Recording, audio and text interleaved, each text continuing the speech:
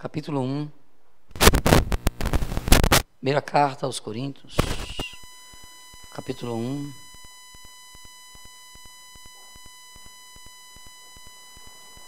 Nós temos duas igrejas, versículo. É, quero que você veja aqui. Ok, versículo 22. Na verdade, a gente pode começar um pouquinho antes. Espera aí.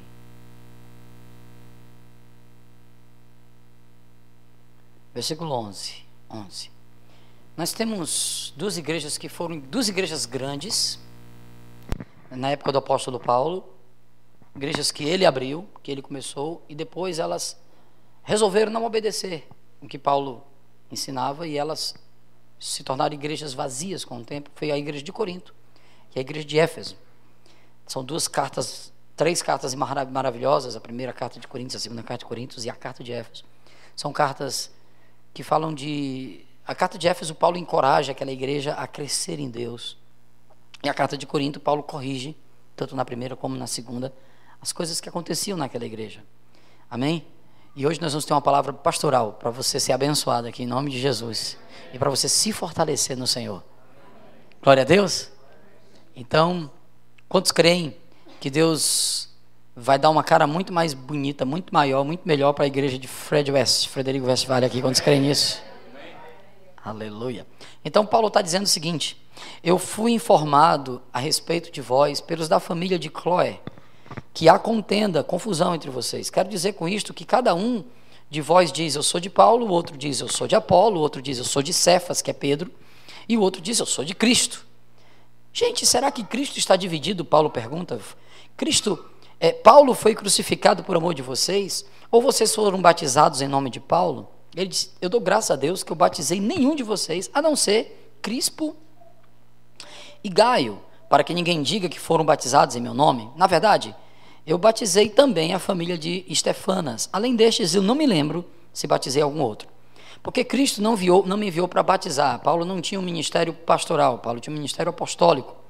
Cristo não me enviou para batizar, mas para pregar o Evangelho, não em sabedoria das palavras, para que a, a, a cruz não fosse em vão. Porque a palavra da cruz é deveras loucura para os que perecem, para os que andam segundo o curso deste mundo, mas ah, para nós que somos salvos, a palavra da cruz é o poder de Deus.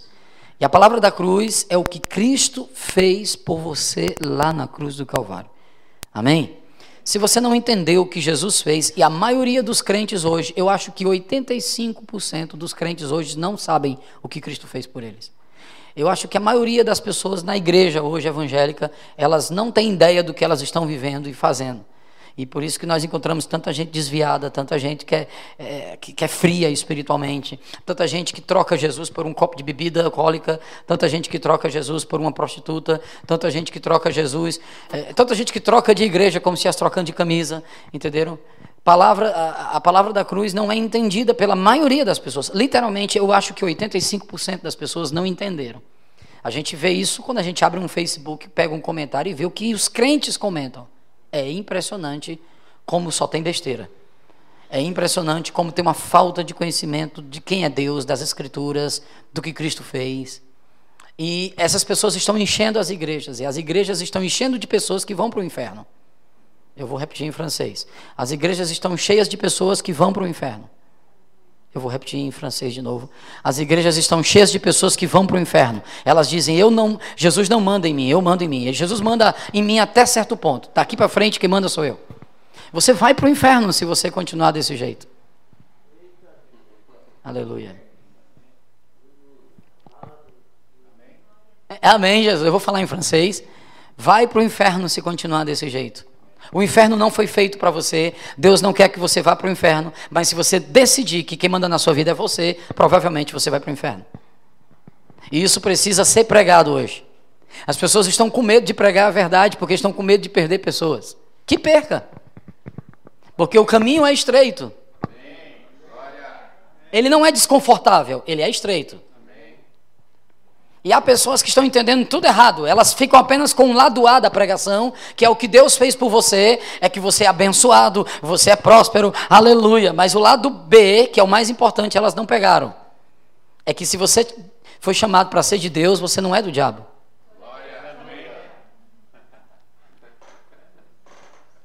Amém?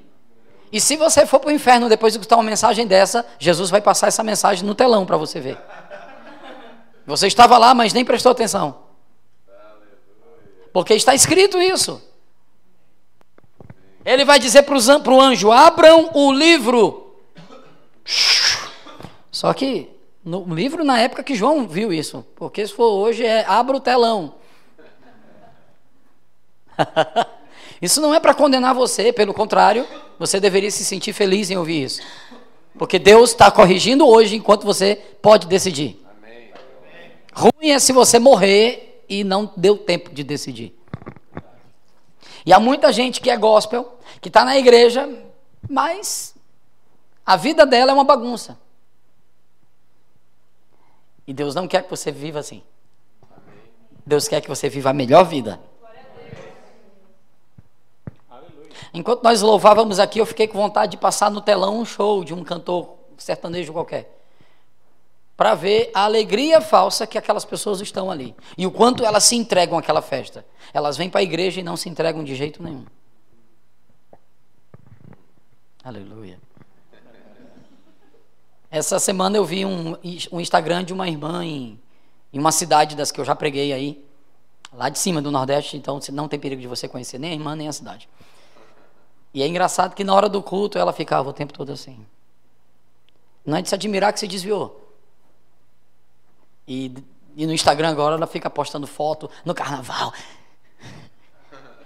E eu fiquei olhando e disse, pai amado. É engraçado, elas, essas pessoas vêm para a igreja e ficam múmia. E aqui deveria ser o lugar onde mais você deveria dançar, louvar e celebrar. Porque o carnaval não fez nada por você.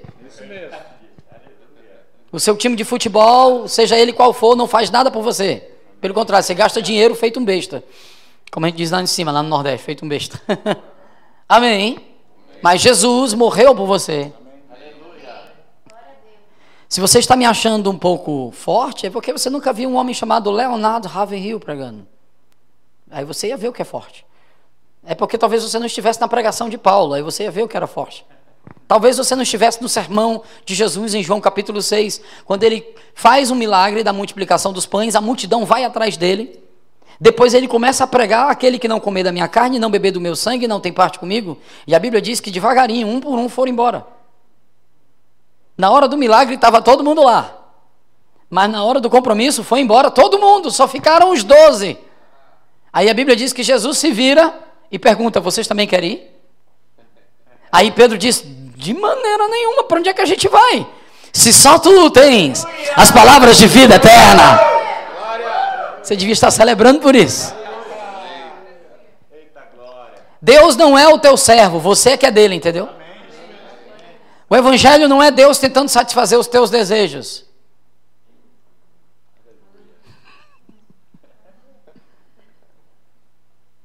Enquanto eu estava fazendo louvor ali, o Senhor estava me dando recado. Fala isso. Eu digo, eita. Eu, vim, eu tinha preparado outra mensagem. Mas você precisa ouvir essa hoje. Amém. E o primeiro sinal que você está na carne, se você está na carne, que alguém está na carne, vamos falar assim, chama-se confusão, divisão. Divisão é duas visões. Deus quer uma visão, mas se você põe o dia na frente, você já. Aleluia. Diga para quem está do seu lado: não aceite Ninguém falar mal do seu pastor. Não aceite.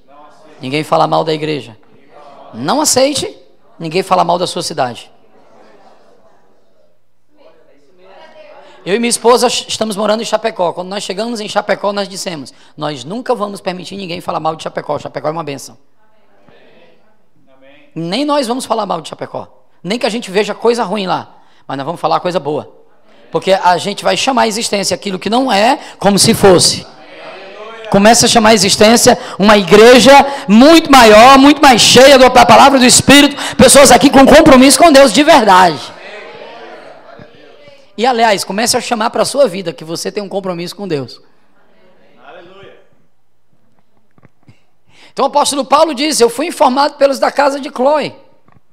E eu fui informado aqui pelos da casa de Chloe que algumas pessoas foram embora da igreja. Eu disse: Não, deixa eu dizer uma coisa para vocês. Amém? Tchau. Amém? Vamos agora avançar muito mais. Vamos agora crescer muito mais. João disse uma vez na sua carta: eles não, não eram dos nossos, porque se fosse teriam ficado. Qualquer pessoa lá em Chapecó que fico, está comigo, e a Vanusa já está sabendo que ela está andando comigo, o Davi também já está sabendo como é que eu sou. Se alguma pessoa em Chapecó chega e diz, ah, eu não quero mais ir à igreja, eu digo, amém, Deus te abençoe, vá para Batista, vá para Metodista, vá para Assembleia, vá para a igreja católica, vá para onde você quiser. Mas não fique aqui se não estiver aqui. Deus tem o melhor para essa cidade. E Deus quer usar você para isso. Nós amamos qualquer pessoa, mas amar não significa andar junto. Aleluia, Jesus. Jesus amava Judas, o, Ju, o Judas Iscariotes. Jesus amava Pilatos. Jesus ofereceu a salvação para Barrabás. E Jesus ama você. Aleluia. Talvez você possa dizer, ô oh, pastor, eu queria tanto que fulano tivesse aqui hoje, eu amo tanto, por que, que ele não está vindo mais? Ore por ele. Visite ele, ore por ele. Se Deus falar com você, vá lá. Amém? Mas que você entenda que você abraçou uma visão.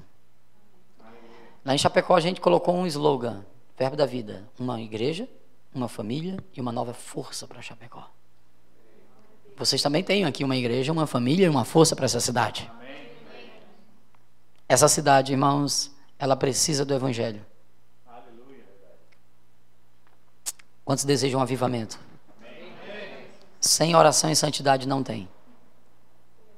A palavra você já tem. É o que muita gente ainda não tem. Mas está tá precisando de oração e santidade. Oração e santidade. Diga comigo, oração. oração santidade. Vamos lá, vamos, vamos avançar. Eita glória. Ai, ai. E Paulo está dizendo: a palavra da cruz é loucura para os que perecem, mas para nós que somos salvos é o poder de Deus. A palavra da cruz, sabe o que é? É você dizer: Jesus, tu és o meu Senhor. Eu estou crucificado com Cristo. Eu não vivo mais, é Cristo que vive em mim. E a vida que eu vivo na carne, com este corpo, eu vivo pela fé no Filho de Deus. Uau! Porque está escrito: eu vou destruir a sabedoria dos sábios, e eu vou aniquilar a sabedoria e o entendimento dos entendidos. Do camarada que acha que sabe tudo, mas não sabe de nada. Sabe que tem gente que pensa que sabe demais, mas não sabe de nada. Está inchado no seu conhecimento. Eu sei muito, olha, eu acho que esse pessoal não, não precisa gritar desse jeito. É você que precisa gritar agora. Dá brados de vitória. Eu acho que eu acho que o pastor deveria ser assim, assim assado. Se você acha, há muitas pessoas que elas acham demais, mas não fazem nada. Eu, eu, geralmente quem acha muito não faz nada. Tem muitas ideias, mas não faz nada. Não é melhor você seguir o barco? Não é melhor você seguir Jesus?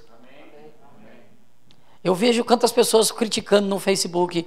Eu acho que nós deveríamos evangelizar. Você vai ver a vida dela, é a primeira que não evangeliza. Quem faz, não fala. Faz. Quem faz, não critica. Faz. Quem faz, faz. Você pode olhar para quem está do seu lado e diga assim: quem faz, faz. Tem uma frase muito boa que eu gosto. Diz assim: não sabia que era impossível, foi lá e fez. Agora, quem vive dando desculpa, não faz nada. Diz a Bíblia que o preguiçoso fica dizendo assim: está chovendo, não dá para ir. Está lá em Provérbios isso na Bíblia. Ele fica olhando o tempo. Pastor, eu não vou à igreja hoje, não, chuva demais. Não, pastor, hoje eu não vou porque deu sol e eu tenho que aproveitar aí a praia. Não, pastor, eu não vou. Entender, irmãos? Se chove, não vai. Se faz sol, também não vai. O som é alto, não vai. O som é baixo, não vai. A igreja é muito calada, não vai. A igreja é muito agitada, não vai. O pastor prega santidade, não vai. O pastor prega liberdade, também não vai. Ele nunca está satisfeito, ele sempre tem alguma coisa para falar. E sabe quando é que essa pessoa vai crescer? Eu vou lhe dizer hoje: nunca. Aleluia. Não tem perigo de crescer. Porque há três tipos de pessoas que Deus não consegue ajudar: o orgulhoso, o que não se arrepende e, e a vítima. Que todo mundo está errado, só ele está certo. Tem um livro aqui chamado Diga Sim. Parece que o pastor já quer esse livro, né? Não? É esse não? É outro. Então tá. Diga Sim. Ele fala sobre Deus falou o seu coração, você ficou questionando e dizendo que qual deveria ser sua que, o que deveria isso ser sua imaginação, porque Deus certamente não escolheria alguém como você? Você deixou o diabo convencê-lo a abrir mão da missão, porque parecia tão grande, gloriosa demais para uma pessoa comum como você? Você pode ter certeza que Deus está falando no seu coração hoje, chamando para você fazer algo maior que os seus talentos, maior que os seus dons naturais e maior que a sua experiência do passado. Diga sim, amém. Eu tenho lido esse livro, eu tenho sido impactado demais. Porque Deus chama as coisas que não são como se fosse. Deus confunde a sabedoria dos entendidos.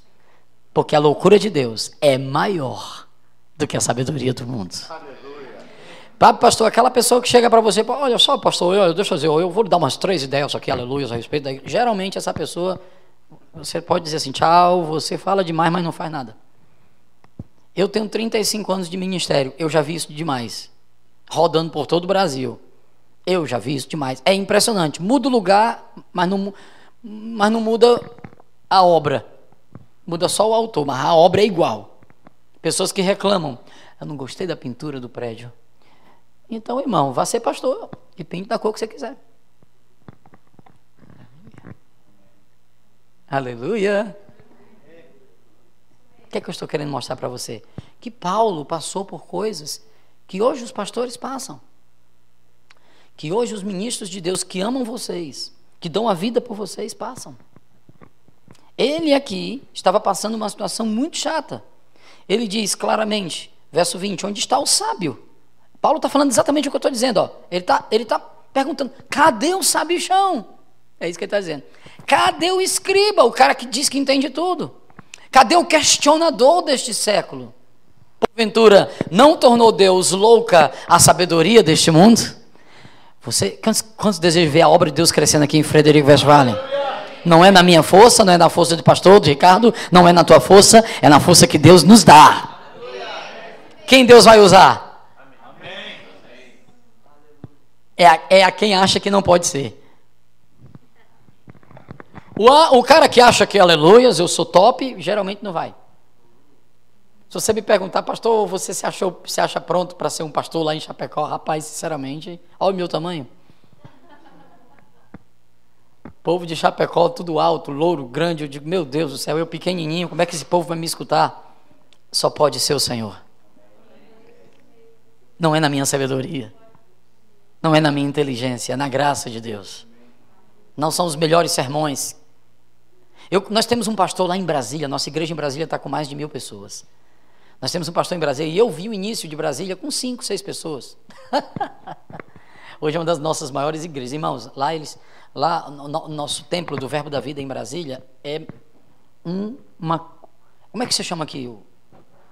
A quadra fechada, né? É a quadra fechada, é como se fossem duas quadras fechadas. O tamanho, tá bom para você? Eu acho que são 10 mil metros quadrados, se não me engano. É coisa demais é muito grande. É um negócio que você se perde lá dentro. E eu vi o começo. O começo era assim. Aliás, era menos do que isso. Agora, se você me perguntar como é o pastor Joselito pregando, que é o pastor principal lá, irmão, ele era um marceneiro. Vocês conheceram o pastor Joselito? Ah, não, pensei que conhecia. Era um marceneiro. Tu conheceu o Joselito? Pela internet? Pois é. Era um marceneiro. Eu estive pregando lá agora em novembro.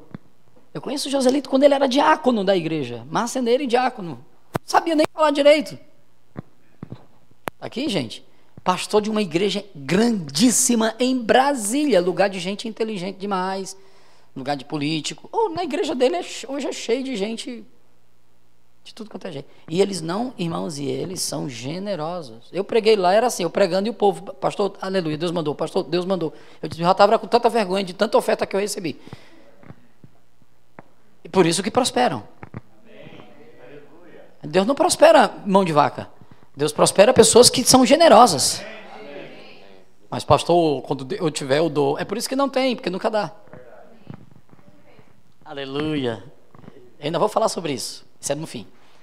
Amém. Diga comigo, Deus deseja nos prosperar. Mas ele precisa de uma ferramenta para trabalhar. E a ferramenta Paulo ensinou. Nessa mesma carta de Corinto ele ensinou. Sabe qual é? Aquele que semeia pouco, pouco também colhe. E o que semeia com abundância, com abundância colhe. O que é semear com abundância? É dar muito dinheiro? Não. Semear com abundância é semear com constância. Amém? É constantemente.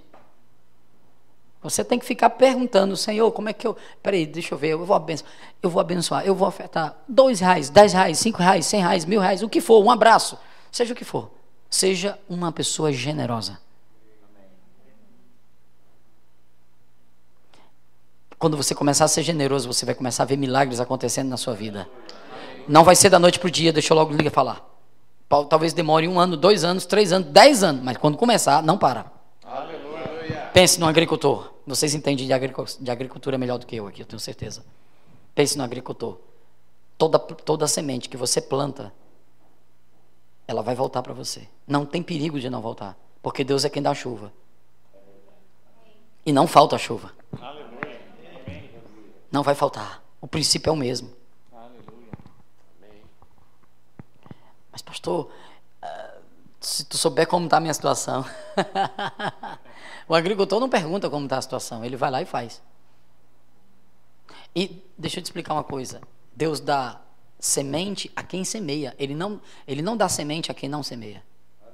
Está escrito isso. 2 Coríntios capítulo 9, versículo 6 em diante. Ele é o que dá semente ao que semeia. Semente você não come.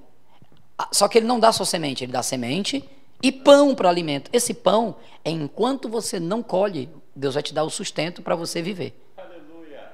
Amém. Ele vai te dar a semente e ainda vai te dar o pão para o alimento. Amém. Agora, quando você começar a colher o que você plantou, meu irmão, tu sabe como é, quando faz assim, ó, é exponencial. Você sabe o que é exponencial, né? 2 vezes 2, 4, 4 vezes 4, 8, 8 vezes 8, 16, 16 vezes 16, cento e tanto. Entenderam como é que é? Não vai parar.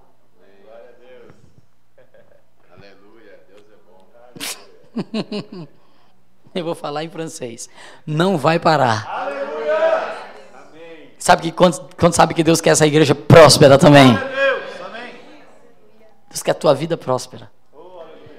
Mas você tem que fazer aquilo que Deus chamou para você fazer. Vamos continuar? Estão sendo abençoados? Aí Paulo vai dizer, onde está o salmo, verso 21 visto como na sabedoria de Deus, o mundo, pela sua sabedoria, não conheceu Deus.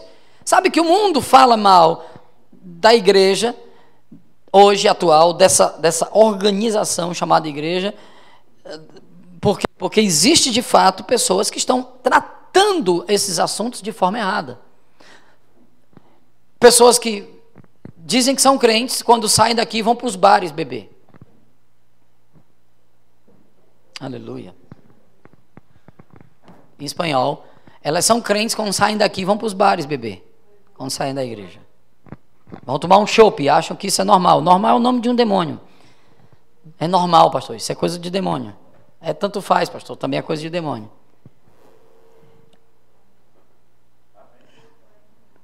Mas, pastor, olha, nós temos aqui uma cultura.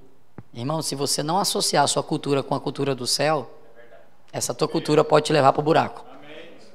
Você está aqui? Porque você não é gaúcho. Fisicamente, sim. Mas espiritualmente, você é celestial. Eu não sou cearense, eu sou cearense. Amém. Se eu falar para você a cultura do cearense, você vai ver, você, você chora como é. Então a gente tem que abandonar da, da cultura aquilo que não agrada ao Senhor. Fica com a parte que agrada, a parte que dá para você manter. Amém? Associa com a palavra.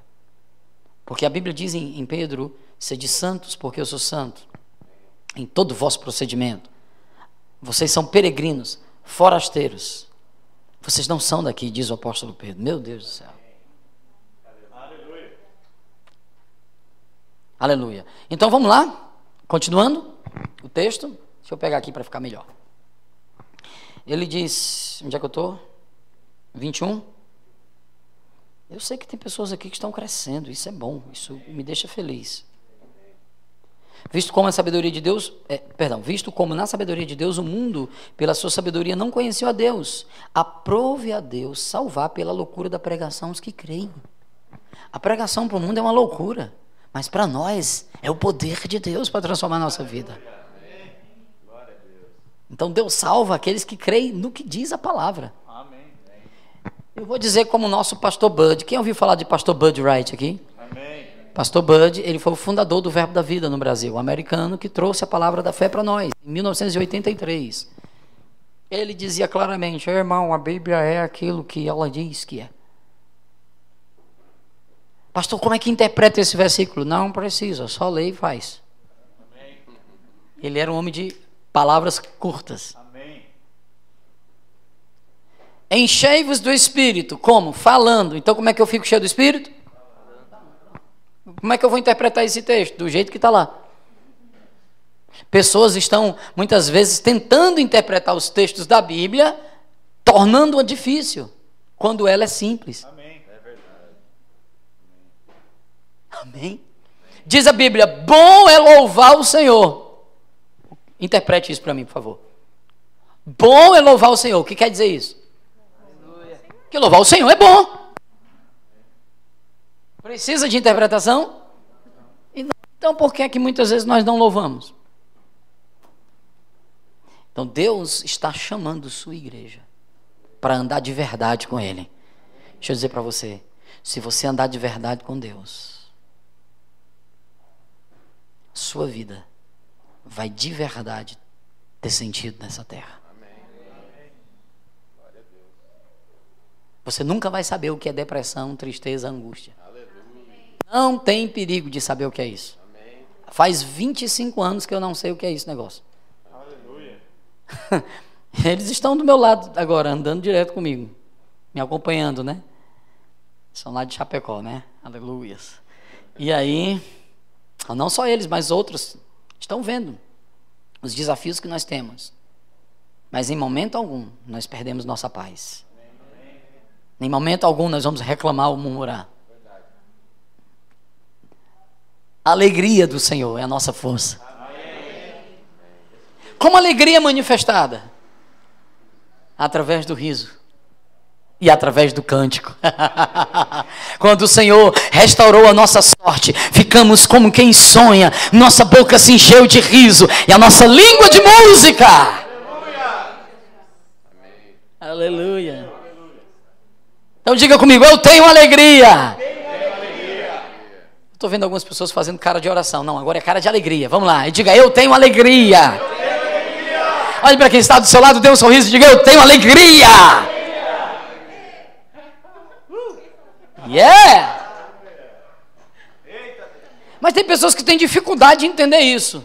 Por quê? Porque a vida toda elas acharam que Deus está ligado ao choro e não ao riso. Mas Deus está ligado ao riso, não ao choro. O choro pode ser de quebrantamento na presença dele. Aí é bom. Que é um choro de alegria por estar diante dele. Quebrantado. Não porque está sofrendo. Na hora do sofrimento, Deus diz: dê risada. Falar em hebraico. Na hora do sofrimento, Deus diz: dê risada. Ontem nós passamos em Chapecó um vídeo de três minutos do pastor Bud falando sobre alegria e como ele recebeu a cura de uma pedra dos rins rindo. Ele diz: Eu estava, irmão, com cólica terrível, dor horrível, rins. Ele dizendo. e ele vai contando e rindo, é lindo. E ele, e ele falando: Então, irmão, a única posição que eu me sentava era no vaso reto, assim. Ele dizendo. Mas, e diabo queria roubar minha alegria. Ele falava assim, né? E eu ficava realmente tentado a ficar mal. Irmão, é dor terrível, ele dizendo. Mas eu de repente comecei, haha.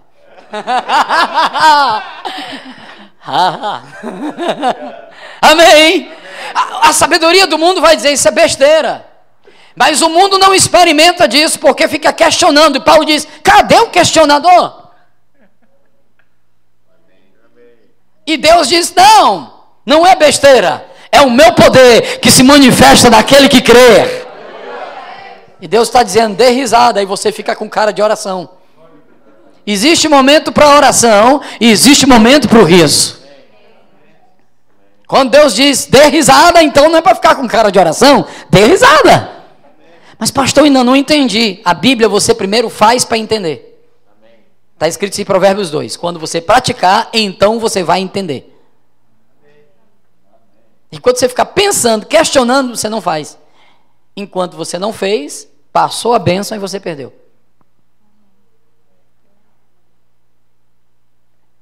Eita glória. Então ele diz: Eu comecei a rir, de repente o Espírito Santo pegou comigo. Eu, e ele disse: Então eu expeli a pedra. Sem dor, ele diz ainda. Sabe por que pessoas não experimentam as coisas de Deus? Porque elas estão sempre dizendo: Oh, me cura, me cura. E Deus disse: Eu já te curei. Você não será curado, você já foi há dois mil anos atrás. Deixa eu te explicar isso. Você já está curado. Para Deus, na mente de Deus, você já está curado. O negócio é na sua.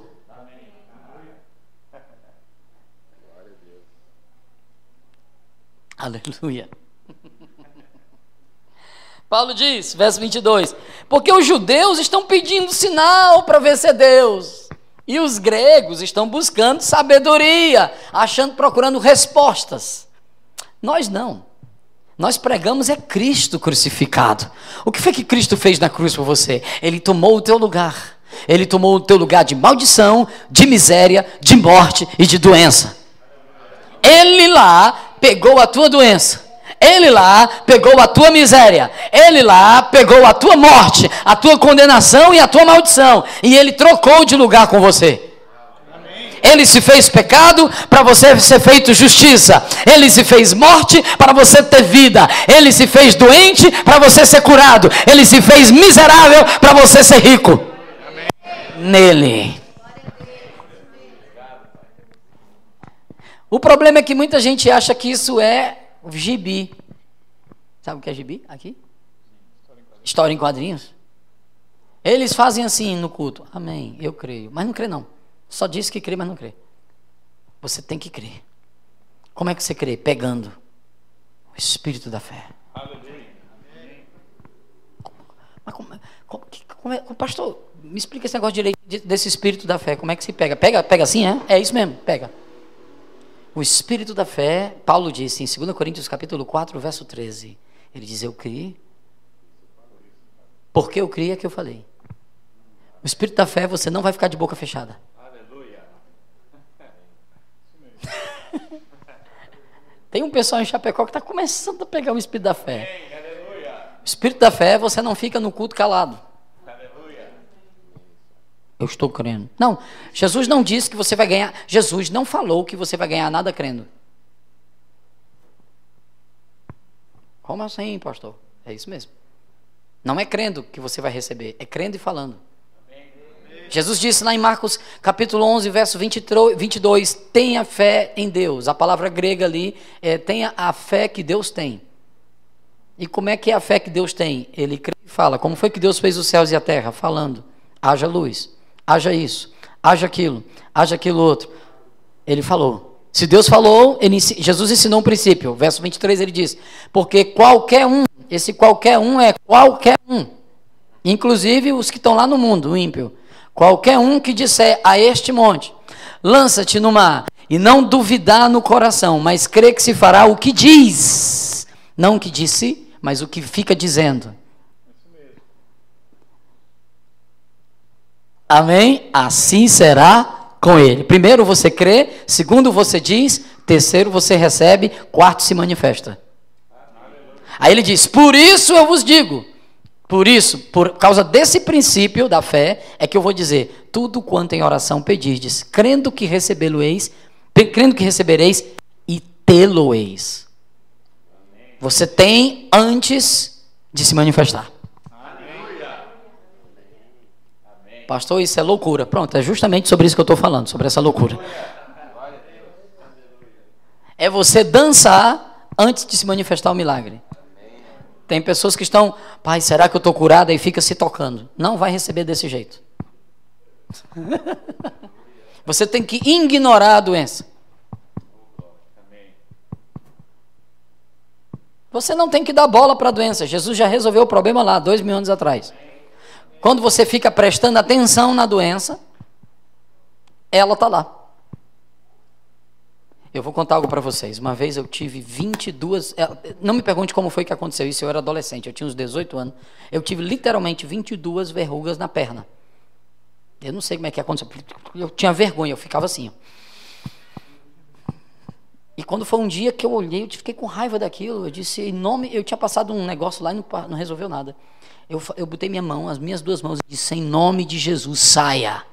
E esqueci. Depois de um mês, eu fui tomar banho e eu olhei e disse: Nossa, não tinha mais nenhuma. Eu esqueci. Porque uma vez que foi feito, foi feito. Mas se todo dia você fica pegando para ver se está bom, você ainda não está em fé, você está tentando. Fé não é tentativa, fé é uma certeza. Enquanto você não estiver com a certeza, você tem que se alimentar da palavra, orar em línguas, adorar o Senhor, até chegar a essa certeza. Por isso que é importante você ficar dizendo: Eu sou curado, eu tenho a vida de Deus, eu recebo minha cura, eu não vou morrer antes do tempo, eu não vou morrer novo. Eu vou cumprir os dias de Deus para mim na terra. Você fala isso e você vive esta vida. É loucura para o mundo. Smith Wigglesworth uma vez estava numa fila de cura, orando pelas pessoas, e um médico levou um, câncer, um cara com câncer, estado, estágio final já, com a mão aqui no, no soro. Ele com aquela roupa de hospital, porque tinha um hospital do lado de onde Smith Wigglesworth estava orando. E o cara foi lá. Smith Wigglesworth olhou para ele e disse: O que ele tem? E o médico disse: Câncer em estágio final. Ok, seja curado. Deu um murro na boca do estômago do cara.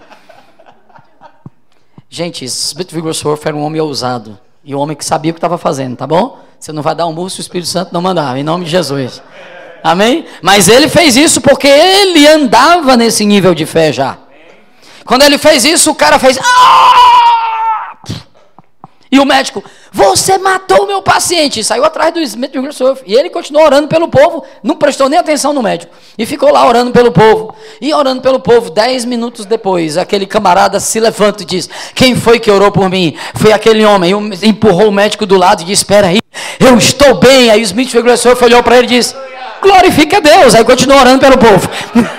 Você está entendendo? Ele não estava na circunstância, ele nem se empolgou.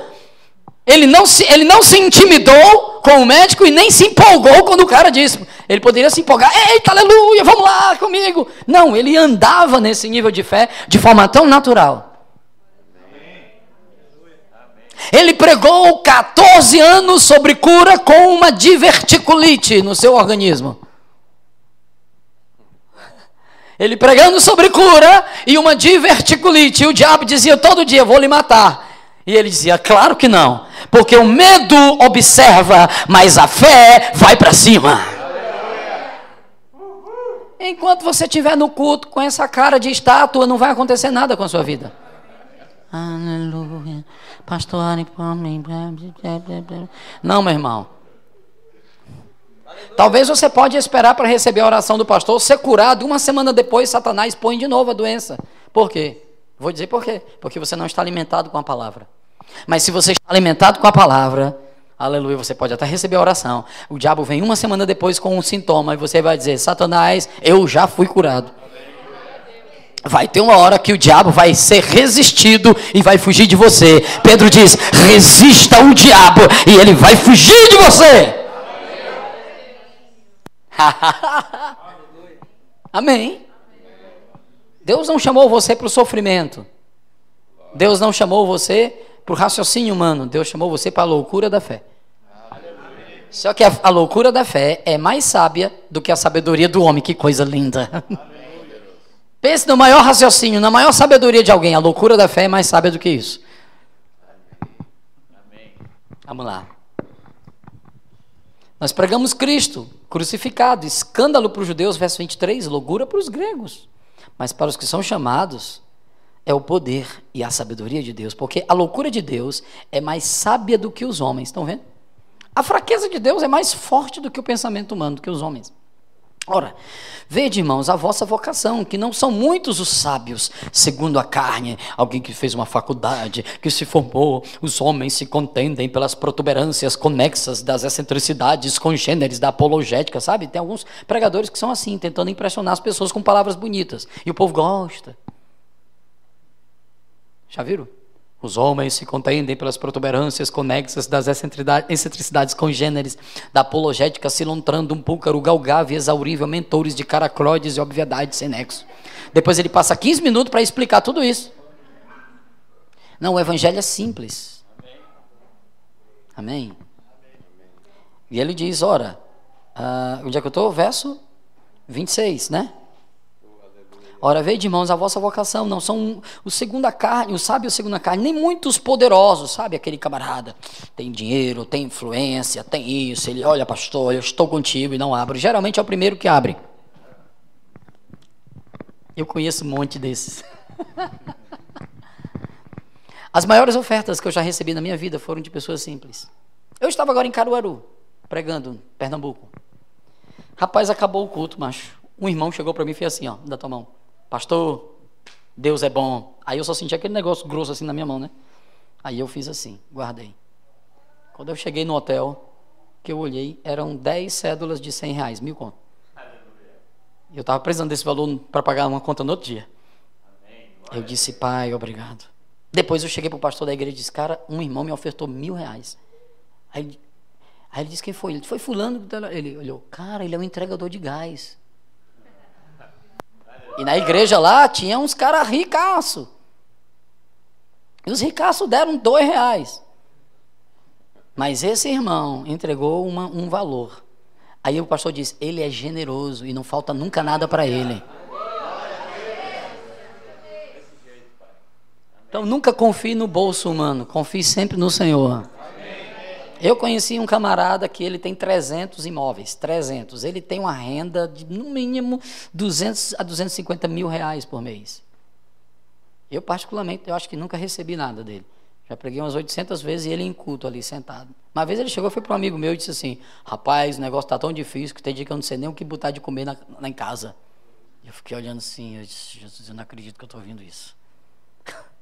ele é conhecido, ele tem fama de ser miserável. Isso não adianta nada. Será que essa pessoa é próspera? Não é. A mulher dele não, a mulher dele é generosa. Amém. Mas ele é só Jesus na causa.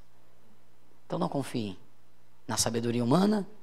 Amém? Amém. E nem confie nos poderosos deste mundo. Paulo está dizendo: não foram os melhores. Eu estou sendo claro com vocês? Amém nem nos poderosos, nem muitos os nobres, que são chamados. A turma da grana. Paulo está dizendo. Aí ele diz: pelo contrário, Deus escolheu as coisas loucas do mundo para confundir as sábias. Olha para quem está do seu lado e diga assim: Deus escolheu você. Deus escolheu você.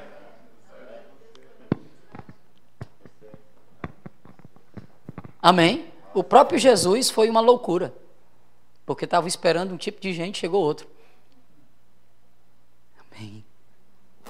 Eu não quero dizer que Deus não possa usar o rico, o rico, nem usar o homem inteligente, bem pode, desde que essa pessoa faça o que Jesus disse. O que é que Jesus disse? Que tem que ser como um camelo, passando pelo fundo de uma agulha. Você sabe o que é isso? agulha era uma porta na entrada de Jerusalém, bem estreita. E o camelo, quando ele ia passar com a mercadoria, ele tinha que se baixar e tirar a mercadoria para poder entrar pela porta da agulha. E Jesus disse que o rico e o poderoso tem que ser do mesmo jeito. Ele tem que se baixar.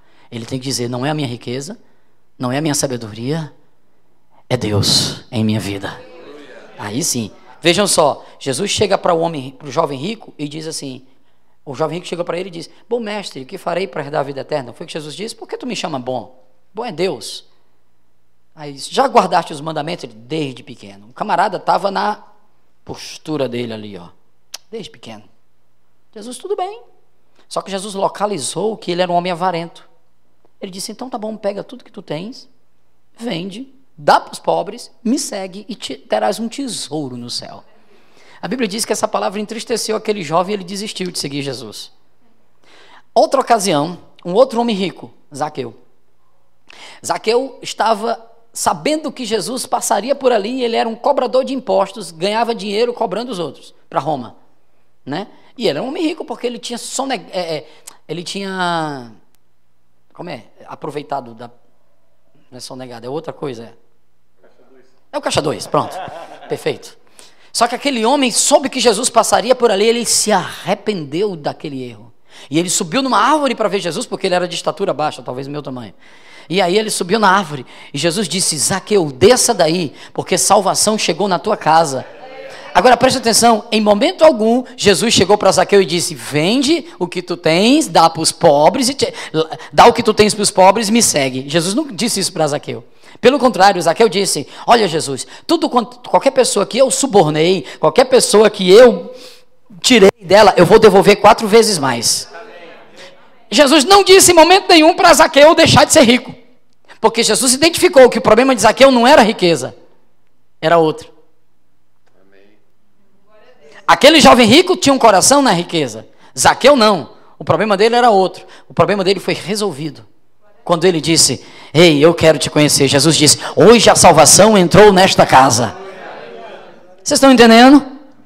Então, a umas pessoas, Jesus vai dizer: larga tudo que tu tens, porque ele identificou que o problema é o amor ao dinheiro e à vaidade. Talvez não seja o amor ao dinheiro e à vaidade, mas seja o amor a, a uma formação. Olha, eu sou médico, não escuto ninguém. Olha, eu sou isso, não escuto ninguém. Olha, eu sou isso, sou aquilo, sou aquilo outro. Eu, eu ministrei agora em Curitiba há pouco tempo atrás, há uns meses atrás, e tinha um pastor na minha mensagem ensinando uma aula demonstrativa do Rema, em Curitiba, esse pastor era formado em quatro faculdades e, e com mestrado e doutorado e não sei o que. Quando acabou, ele chegou para mim e disse: Olha, eu sou formado nisso, naquilo, naquilo. Mas a palavra que você pregou hoje, meu Deus do céu, eu nunca vi isso na Bíblia. Cadê a minha Bíblia? Eu digo, Deus está começando a abrir ela hoje para o senhor. Vocês estão aqui? Existe um homem chamado William Tyndale. Ele é o pai da Bíblia inglesa.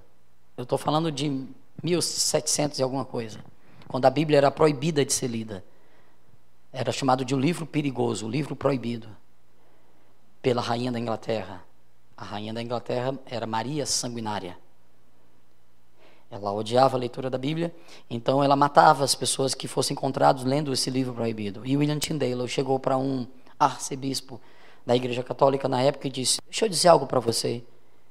Eu estou escrevendo uma Bíblia, uma Bíblia numa linguagem de cada camponês simples vai poder ler e vai saber mais do que você. Eita Jesus! Aquele homem estava cheio de pose, mas William Tyndale disse: Deus quer que cada pessoa simples possa ter acesso à palavra. A palavra de Deus é para pessoas simples. O que é ser simples? É não ter dinheiro? Não. É mesmo tendo, saber que o teu Deus não é o dinheiro, teu Deus é o Senhor. É não, ter, é, é não ter conhecimento? Não. Mesmo tendo, sabendo que o conhecimento não está acima do conhecimento da palavra de Deus.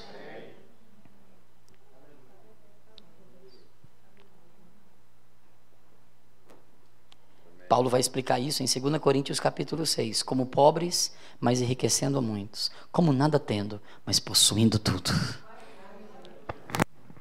Aí ele diz: pelo contrário, Deus escolheu as coisas loucas para confundir as sábias. Deus escolheu as coisas fracas para confundir as fortes. Deus escolheu as coisas inóbeis e desprezíveis, as que não são, para reduzir a nada as que são, para que nenhum mortal se glorie na presença de Deus.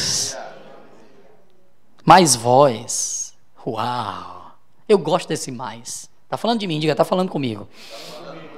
Mas vós sois dele em Cristo, o qual para nós foi feito por Deus. Cristo foi feito por Deus. Sabedoria. Quem é a nossa sabedoria? Cristo.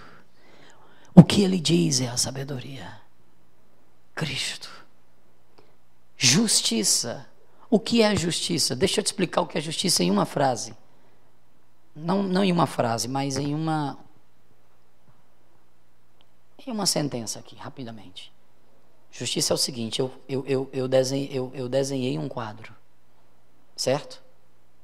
E pintei o quadro. E o quadro é meu. Eu assinei meu nome. É meu. Mas de repente eu fui roubado. E a pessoa que roubou apagou meu nome e colocou o dela. Isso é justo? De quem é o quadro? É meu. É injusto aquele quadro ficar com aquela pessoa que roubou. Ok? Deus fez você. Mas o diabo roubou o homem. Preste bem atenção aqui. Deus fez você. Mas o diabo rouba o homem quando Adão peca. Se Deus fez você, se Deus fez o homem, e o diabo roubou, e agora o homem fica parecendo mais com Satanás do que com Deus nas suas atitudes, isso é justo? Não. Isso é injusto, isso é a injustiça. Qual é a justiça? Cristo veio resgatar de novo essa condição de você pertencer a Deus. Porque o homem não foi feito para pertencer ao pecado. O homem foi feito para pertencer a Deus. É por isso, meu irmão, que você pode beber, fumar, fazer o que for para tentar se alegrar. Não vai dar jeito. Você foi feito para ser de Deus. A única, uma vez disse Santo Agostinho, quando nasceu de novo, Agostinho disse, ele nasceu de novo aos 33 anos de idade, ele disse: a minha alma agora encontrou repouso, porque eu conheci o meu Deus. Deus é o lugar onde repousa a nossa alma. Você vai tentar encontrar em marido, não vai conseguir. Vai tentar encontrar em mulher, não vai dar certo. Vai tentar encontrar em filho, também não dá. Vai tentar encontrar no pai, também não dá. Vai tentar encontrar na família, não é. Vai tentar encontrar em riquezas, não é. Vai tentar encontrar em prazeres, não dá certo. Você só encontra esse repouso na presença dele. Eu amo minha esposa, mas eu vou te falar, o meu repouso é o Senhor, não é ela. E ela também me ama e o repouso dela é o Senhor, não sou eu. Estamos bem definidos quanto a isso. Mas vós sois dele, o qual foi feito por Deus, sabedoria, justiça, santificação. Quantos aqui querem realmente viver uma vida de santidade? Ame a palavra. Cristo foi feito por você, sabedoria, justiça, santificação. Ele santificou você. Ele separou você do mundo quando você nasceu de novo. Olhe para quem está do seu lado e diga assim: Você é santo. Você sabia que você é santo? Pergunte isso a ele, vai, vamos lá. Você sabia que você é santo? Então diga: Você é. É a sua natureza. Diga assim: Você não é um pé de mandacaru. Algumas pessoas estão me olhando, pastor, o que é mandacaru? É uma árvore lá do sertão do Nordeste, é uma planta do sertão do Nordeste que dá espinho. E ela só dá um fruto. Então, você não é um pé de mandacaru, você é um carvalho de justiça. Você é uma figueira que floresce. Amém? Você foi um pé de mandacaru no pecado, você não dava nada. Era um frutinho que você dava, que era só uma abobrazinha que você fazia. Mas agora não, você é um cavalo de justiça. Jesus mudou a tua natureza. Você era um pecador e agora você é justo. Você era filho de Satanás, agora você é filho de Deus. Então, você não precisa viver uma vida de qualquer maneira. E ele diz: para que Jesus foi feito para nós sabedoria, justiça, santificação e redenção. Ele nos redimiu. Sabe o que é isso, né? O ladrão nos roubou. Jesus foi lá e tomou a gente da mão do ladrão. Peraí, deixa eu falar de novo. O ladrão nos roubou e Jesus foi lá e tomou a gente da mão dele. Deixa eu dizer melhor. Jesus falou que um valente guarda sua casa até que venha um outro mais valente e amarre aquele valente. Jesus é mais valente do que o diabo. E foi isso que ele fez. O diabo nos roubou e disse: Ninguém tira eles de mim. Jesus chegou e disse: Rapaz, ei, você já era. Saia, porque eles me pertencem. Fui eu quem criei o homem. Fui eu quem criei o homem. Diabo não criou você. Diabo não tem um direito de ter sua vida. Você é obra-prima de Deus. Como está escrito, aquele que se gloria, glorie-se no Senhor. É isso aí. Aleluia. Amém. ai, ai. Se o diabo está enganando você, como ele enganou Eva, e Paulo disse que nós temos que ter cuidado para que Satanás não nos engane como ele enganou Eva. Como foi que ele enganou Eva? Deixa eu dizer. Tinham 250 mil árvores naquele dia, naquele, momento, naquele jardim. 250 mil árvores. Todas eram comestíveis. Tinham duas árvores em especial: a árvore da vida e a árvore do conhecimento do bem e do mal. A árvore da vida podia se comer. E à medida que ia comendo da árvore da vida, o homem ia crescendo mais e mais em Deus. E ele comeria de todas as 249.999 árvores, livremente. Era só chegar e pegar e comer. O homem já era a imagem e semelhança de Deus, já era, foi criado assim. O homem já tinha comunhão com Deus, o homem estava muito bem obrigado. Financeiramente, Adão não precisava de nada, porque Deus mesmo fazia chover na terra e Adão só plantava, regava e cuidava do jardim, trabalhava sem ter um pingo de sofrimento. Não tinha doença, seu corpo era top. Eva, do mesmo jeito. Só que Satanás arrumou um jeito de pegar Eva quando ela estava sozinha. Por quê? Porque o diabo só pega quem anda sozinho. Eu vou falar em espanhol. O diabo só pega quem não anda como igreja. Igreja não é Cristo em casa. Cristo em casa não é igreja. Sabe o que é Cristo em casa, né? A pessoa, eu sou a igreja, aí fica em casa. Não. Não. Igreja significa, vem do grego, eclésia. É reunião. Você já viu uma reunião com alguém sozinho? Vou fazer uma reunião para eu sozinho. Não, reunião tem que ter no mínimo duas pessoas. É por isso que Jesus disse: onde estiverem no mínimo dois ou três reunidos no meu nome, eu estarei no meio deles. Claro, você pode adorar o Senhor sozinho no seu quarto, mas quando se trata de igreja, tem que estar junto. E Eva estava sozinha. E Satanás, eu vou pegar essa mulher. A serpente se aproximou. É engraçado que Eva não se espantou com a serpente falando, porque provavelmente antes da queda as serpentes falavam. Eu vou dizendo de novo para vocês, tá? Não só serpentes, mas outros animais poderiam falar. Ela não se espantou com a serpente falando. Vocês entenderam? Pense sobre isso. Ok? Provavelmente antes da queda, a criação era tão perfeita, a serpente nem se arrastava, ela só passou a se arrastar por causa do pecado. Provavelmente a serpente ficou bem em pezinha e falou com Eva: Ei, Eva, Eva, oi. Só que Satanás possuiu aquela serpente. Eu não sei se você sabe, mas no Antigo Testamento era comum alguns animais falarem. A jumenta falou e Balão nem se assustou. Vocês estão aqui ainda?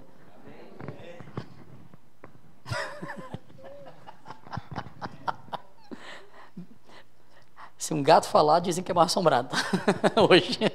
Mas enfim, temos esses relatos na Bíblia. E eles não se assustaram. Parecia que havia uma certa normalidade que foi perdida. Vamos lá. Sem entrar muito nesse detalhe, para a gente terminar. A serpente chega para Eva e diz: Eva. Aí ela: Oi, quem é você? Deixa eu dizer um negócio. Eu fiquei sabendo que Deus disse que não podia comer todas as 250 mil árvores do jardim. A serpente diz desse jeito. A Eva, não. Deus diz para a gente não tocar e não comer daquela que está no meio, da árvore do conhecimento do bem e do mal. Aí a serpente pensa, uau, ela não sabe de nada da Bíblia, porque Deus não falou que não era para tocar, Deus só disse que não era para comer. Então, como ela disse que não era para tocar, então ela não sabe de nada eu vou pegar ela. Entenderam? Então Satanás pega pela falta do conhecimento. Aí o diabo diz: Não, mulher, presta atenção. A serpente diz: O que é que vai acontecer se você fizer isso? Não, Deus disse: se a gente tocar e comer, a gente morre. Não morre, não. É isso que Satanás faz até hoje, engana do mesmo jeito. Você já é completo em Cristo, você já tem a vida de Deus, o negócio é só você desenvolver a salvação e o diabo quer desviar sua atenção para coisas que não vão te dar prazer verdadeiro, só momentâneo. A serpente pegou Eva para ela prestar atenção na árvore, no fruto que era bonito, agradável à vista, bom para comer e dar entendimento. Pelo amor de Deus, Deus já tinha falado que tinha a árvore da vida para eles. Amém? E a árvore da vida daria o entendimento vindo de Deus, mas ela não quis o entendimento vindo de Deus, por quê? Porque a serpente convenceu Eva que Deus queria tirar dela um prazer.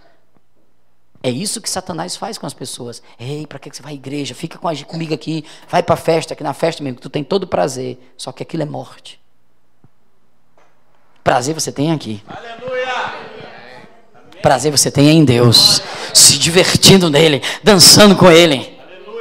E aí a serpente olhou e disse: É, não vai comer, não. Na verdade, você está sabendo de uma coisa: no dia que você comer, vocês, vocês vão ser como Deus, conhecedores do bem e do mal. Deixa eu perguntar: Deus já tinha criado eles a imagem e semelhança, não já eram?